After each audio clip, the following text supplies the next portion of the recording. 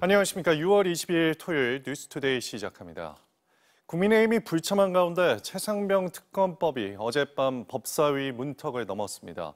법안이 발의된 지 22일 만인데요. 민주당은 늦어도 다음 달 초에는 본회의를 통과시키겠다는 계획입니다.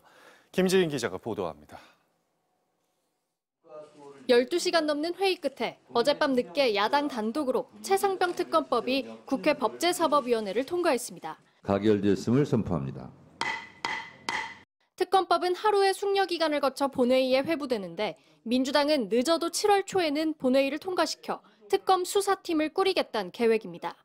특검 법안은 특별검사가 수사 기간을 한 차례에 한해 30일 연장할 수 있도록 했고 수사 대상인 공직자들은 직무를 회피하도록 하는 내용 등을 담았습니다.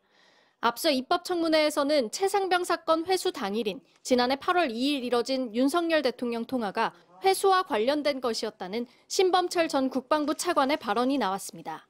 차관도 지금 통화한 게 지금 나오고 있는데 예, 아니 그거는 이- 회수에 관련 거고 외압을 행사했다는 것은 다만 구체적인 내용은 밝히는 것이 부적절하다며 답변을 회피했습니다. 신전 차관을 포함해 이종섭 전 국방장관, 해병대 임성근 전 일사단장 등 3명은 증인 선서를 거부했습니다.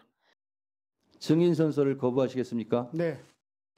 각각 고위공직자 범죄수사처나 경찰 수사를 받고 있거나 특검법 수사 대상이어서 자칫 증언 때문에 처벌받을 수 있다는 이유였습니다.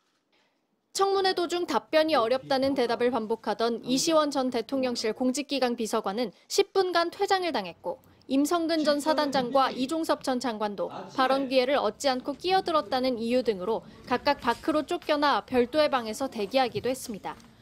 청문회, 특검법 심사까지 내내 불참한 국민의힘은 민주당이 자신들의 정치적 이익을 위해 최상병을 이용하고 있고 법사위를 단독으로 열어 특검 전국을 위한 가이드라인까지 제시하고 있다고 비판했습니다. 한편 정청래 법사위원장은 출석 증인들의 발언을 검토해 허위 증언이나 국회 모욕성 발언에 대해서는 고발하겠다고 거듭 강조했습니다. MBC 뉴스 김지인입니다.